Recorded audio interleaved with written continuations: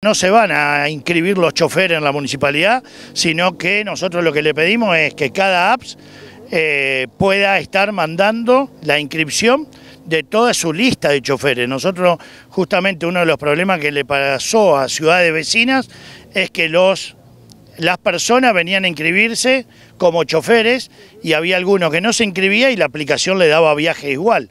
Entonces perder el control. Nosotros lo que queremos, que es lo que cambiamos en relación a otras ciudades, es que sea la empresa quien haga una declaración jurada de sus choferes y le dé viaje solamente a los choferes que ellos nos mandaron al listado. Esto es lo que tenemos que trabajar arduamente con las apps para que ellos se inscriban primero en un domicilio legal, como se dijo, y luego nos manden el listado de choferes que van a trabajar para cada apps en particular. No van a tener que venir los choferes a inscribirse al municipio, sino lo que se viene a inscribir son las apps. ¿Y eso arranca esta semana? Sí, posiblemente sí, cuando esté terminado de reglamentar en, en este transcurso de la semana. ¿Hay un tope? ¿Cómo van a hacer ustedes para controlarlo?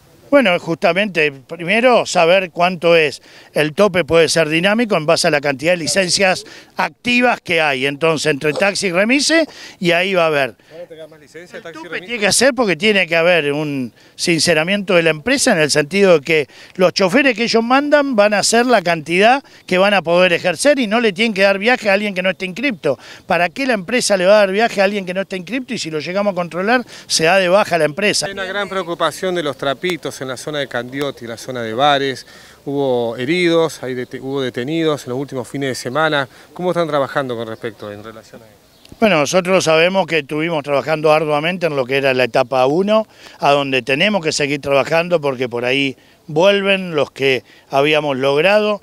Todos los que se han podido insertar en cooperativas están trabajando con un alto presentismo. Ahora estamos planeando la etapa 2 y bueno, eh, iremos viendo de a poco cómo podemos articular, sabemos que no se puede en una etapa y en una situación social tan difícil de un día para el otro que no existan más cuidacoches. Ojalá que la gente siga denunciando. Nosotros lo que necesitamos es la de... aumento de denuncias en el 0800? No lo tenemos contactado, pero es lo que digo, por ahí la gente vio que se habían ido y cuando vuelven no termina de denunciar. Le pedimos que llamen al 0800 ante, en esos casos y que nosotros vamos a actuar porque la idea que en la etapa 1 y es el sector que ustedes ya conocen, vamos a seguir trabajando arduamente para que esta actividad no haya esa doble imposición que hablamos del primer día.